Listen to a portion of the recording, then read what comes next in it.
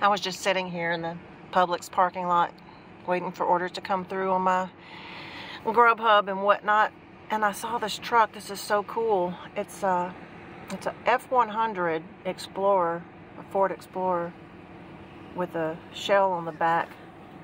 And I'm going to get out and hope that the guy doesn't come up, or the girl. I don't know it's whose vehicle it is, but I looked in it earlier to see if he was living in it or if it was like set up for like a camper type deal. So I want to show you guys what it looks like.